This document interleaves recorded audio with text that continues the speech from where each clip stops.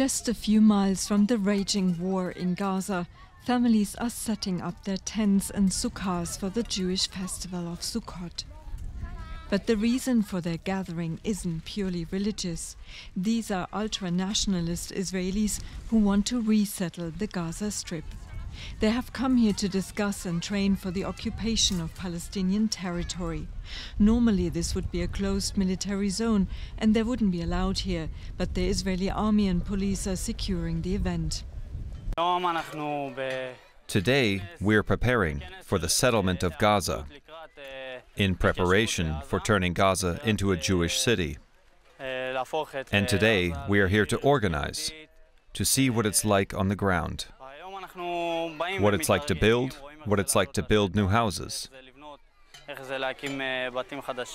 After the, the 7th of October, we feel all of us to, to come and to go to Gaza, Gaza, because Gaza is our uh, country. Uh, 19 years was not, but it's our country. Israel removed its settlements in Gaza in 2005. Many say that this was a mistake and are pushing to resettle, including members of the current government. Not only ministers and Knesset members from far right parties, but also Prime Minister Benjamin Netanyahu's Likud party. Although Netanyahu himself has denied there are any plans to resettle Gaza.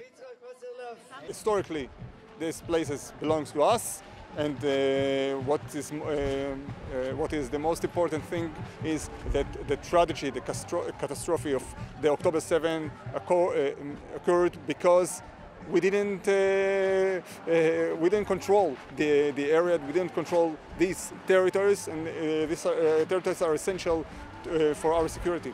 In Gaza, the situation could not be more desperate. Since the war began, at least 90% of its 2.2 million residents have been forcibly displaced. Much of the civilian infrastructure has been bombed to the ground, and more than 42,000 Palestinians have been killed, according to Gaza's health ministry. But not everybody wants to resettle Gaza. This small group of Israelis has come out to protest against the settlers' plans.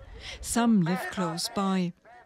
They're worried that if Gaza is resettled, the war will never end and the hostages will never return.